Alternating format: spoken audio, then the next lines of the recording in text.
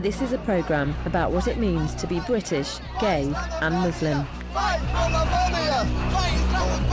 Being proud of your activity, that makes them dislike way? you. I do not. I. Dislike you. You can't be proud to be gay in Islam. It's an un-Islamic notion.